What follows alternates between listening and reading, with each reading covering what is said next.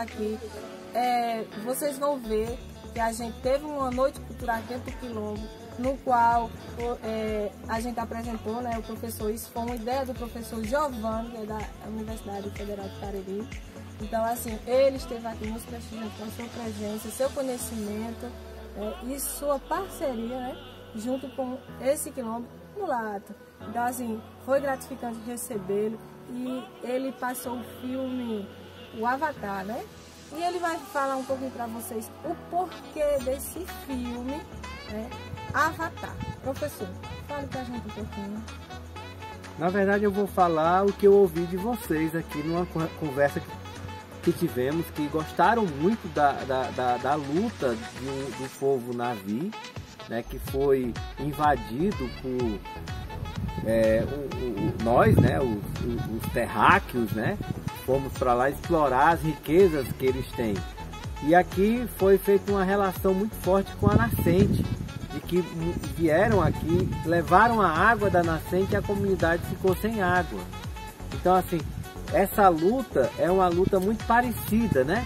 De resistência que é necessária, de reconhecimento de direitos, que não é nada fora da lei, mas é um direito do povo daqui da comunidade, assim como os navios lá do filme, né, do Avatar, de resistir à exploração, à degradação do meio ambiente e garantir qualidade de vida na comunidade. Então a ideia do, do, do filme é uma ideia de resistência, de esperança, de que é possível vencer aquela pessoa que vem destruir, que vem levar as riquezas, que vem tirar os direitos.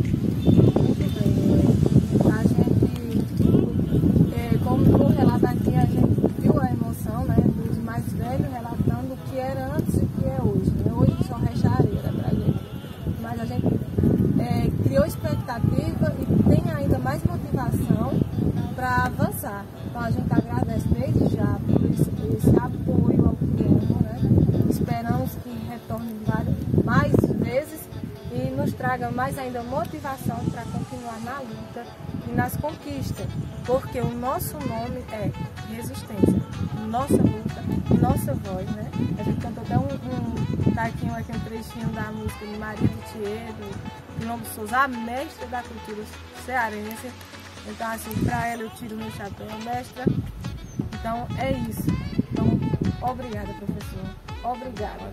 Prazer. Vamos voltar, né? Sempre. As, as portas estão abertas do quilombo. Tá Bom, pessoal, a gente vai deixar aqui para vocês nesse vídeo uma palhinha do que aconteceu durante esta noite, até hoje no amanhecer, é, momentos mais que especiais, tá certo?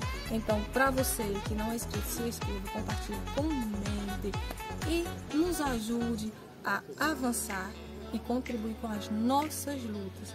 Então, agradeço a todos e a todas.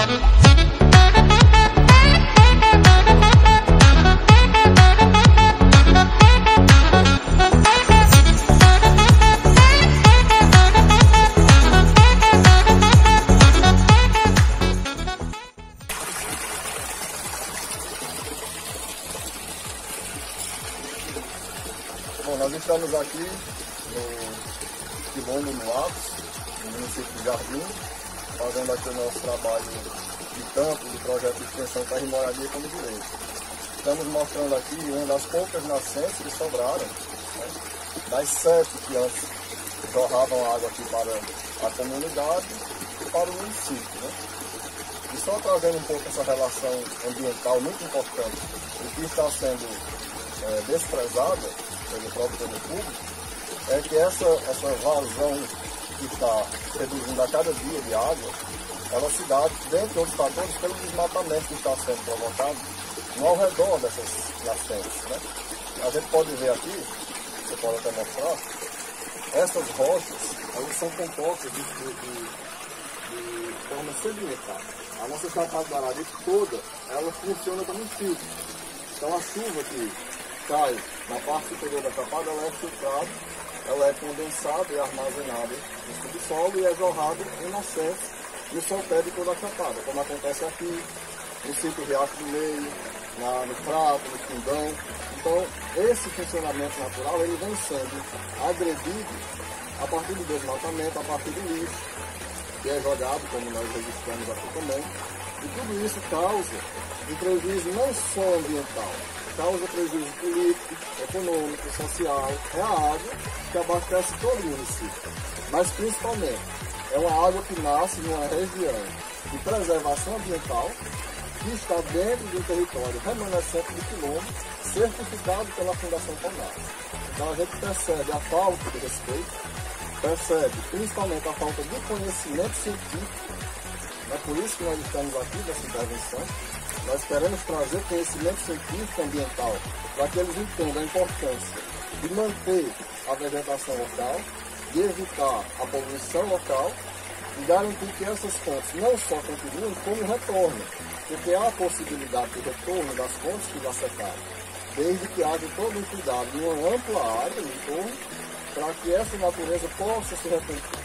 Então, fica aqui um apelo nosso, enquanto universitários, enquanto Universidade Federal do Cariri, enquanto quilombo, do município de Jardim, para que nós possamos, com consciência coletiva da comunidade e principalmente responsabilidade e respeito do poder público municipal, fazer com que esse patrimônio aqui ele seja preservado.